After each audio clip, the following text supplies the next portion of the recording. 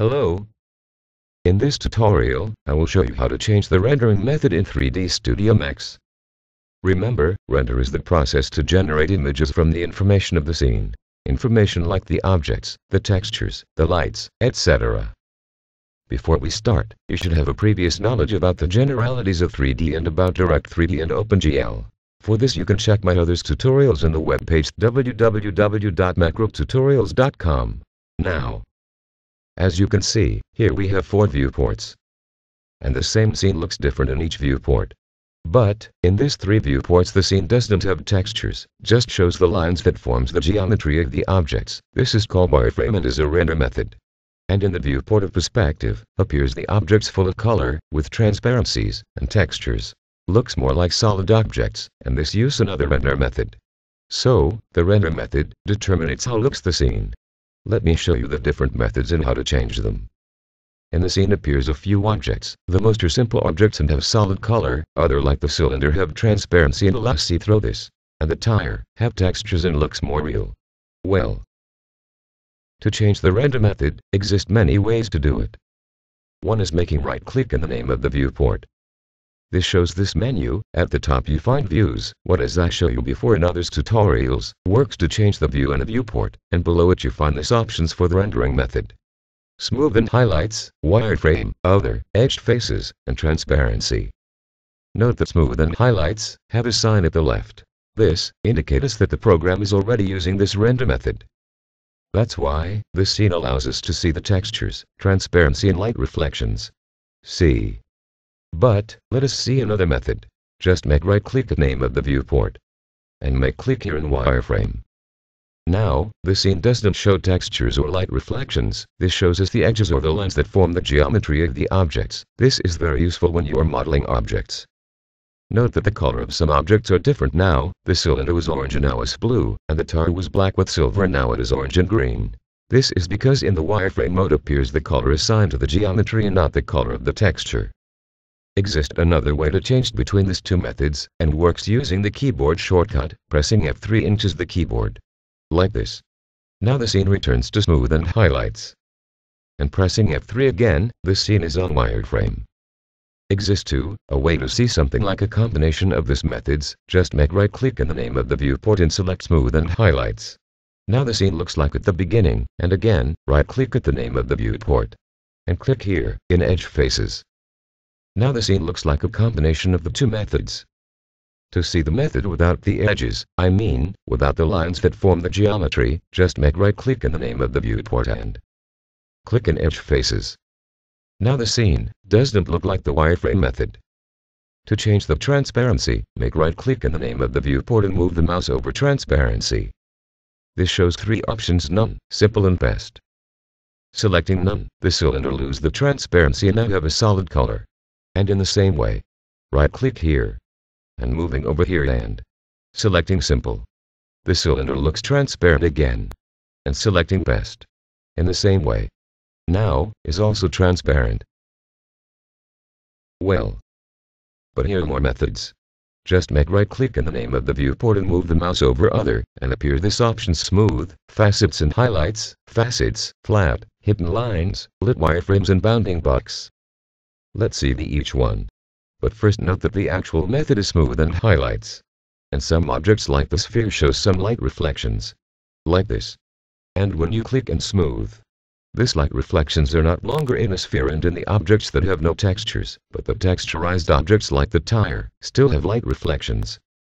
Now, in the same way, make right click here, and move the mouse over other, and select facets and highlights. Note that now some objects looks more squared, more polygonated, and shows some light reflections. This is more obvious in the sphere and the donut, because have rounded shapes, but others objects like the cylinder or the tire still looks the same. Note this. The way how looks the scene in the viewports is not the same way how looks the final result when the scene is rendered. If you click the button at Render Production, you can see the difference.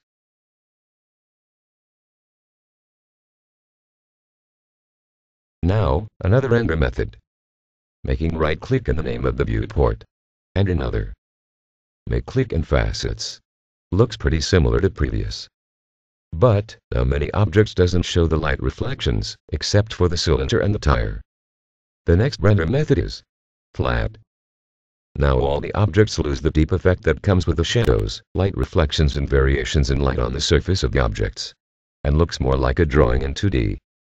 Again, to select another render method. Click here and move the mouse over other. And click in hidden lines. This is a render method pretty similar to the wireframe method. But, in this doesn't appear all the edges of each object, I mean, the lines that form the geometry.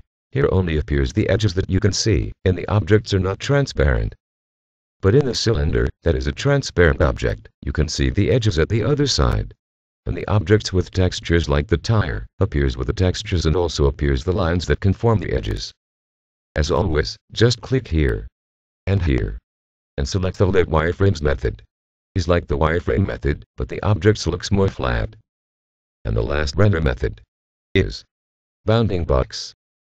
A bounding box is a box that represents the space occupied by an object.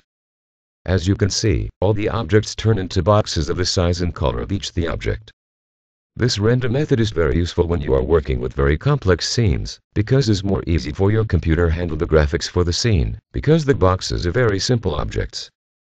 Well, as you can see, 3D Studio Max offers a lot of render methods for many purposes.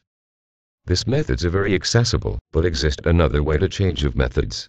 Just make right click in the button Maximize Viewport toggle and select the tab of rendering method, and here, at the left side of this tab appears all the methods, just select the method what you want and also you can enable the edged faces, change the type of transparency, decide if this configuration will be applied only to the active viewport, to all the viewports or to all the viewports but not to the active viewport. And making click in the OK button this configuration is applied. Going back to the tab of rendering methods in the configuration window, there is more possibilities to configure the rendering methods and at the right side of this tab appears more options like Disable the view. Remember that when you make any change in the scene, the change appears immediately in all other viewports, but when the view is disabled and is not the active viewport, the changes doesn't appear in the disabled view. Disable the texture. For doesn't show the textures of the objects in the view. Texture correction. Redraws the view using a perspective correction. Z-buffer and wireframe. Z-buffer is the order of the objects in the scene from back to front, and this is to draw the objects in that order when you're using the wireframe method.